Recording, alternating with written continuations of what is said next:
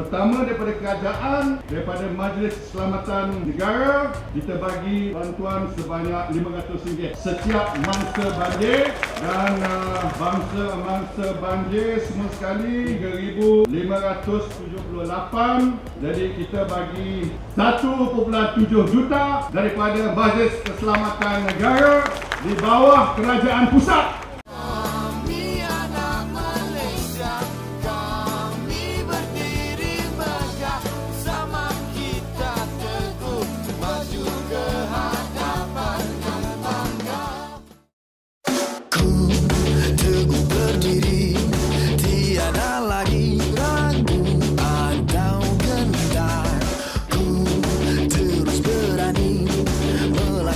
maju Terus ke hadapan Satu impian Keyakinan rakyat kepada Barisan Nasional kian bertambah dan kian memuncak. Janji ditepati, kata di kota. Kita ni janji, kita cakap fakta, kita bukan cakap auta. Siapa cakap auta? Siapa? Sebab itulah hari ini rakyat yakin, lebih yakin pada Barisan Nasional. Saya ini Yakin ni? Yes! Ha, tengok, kita dah hafal dah tu. Dah masuk dalam ni. Dalam dada kita ni. Jadi tuan-tuan dan puan-puan sekalian, kita tak payahlah cakap banyak. Kita dah kena tipu sekali cukup. Betul? Nak kena tipu sekali lagi? Tak mau? Saya sepatut ada di Sepang F1 ni. Tapi saya beritahu pada diri Hamilton boleh tunggu, Schumacher boleh tunggu, Burton boleh tunggu, rakyat Selangor lebih mustahak daripada mereka. Kita kumpul hari ini di Don Bisentua, Parlimen Langat. Ha, dia dapat keutamaan. F1 tunggu dulu. Ha, dah selesai bab ni baru saya pergi F1.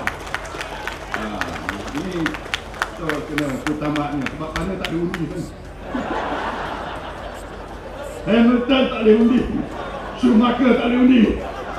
Tuan-tuan dan puan-puan boleh undi. Betul tak? Ah, Tuan-tuan dan puan-puan lah letakkan kami di atas ni. Ah, sebab tu kita kena hargai tuan-tuan dan puan-puan. Tadi saya telah diberi taklimat sebelum datang sini dan dalam taklimat tadi mereka minta JPS minta dan JKA minta langkah untuk mencegah banjir jangka pendek jambatan laluan utama termasuk jambatan di Sungai Serai tadi sebanyak 3.5 juta. Nak jadikan sebuah jambatan dua buah jambatan sebuah jambatan di situ pembentung 1 juta.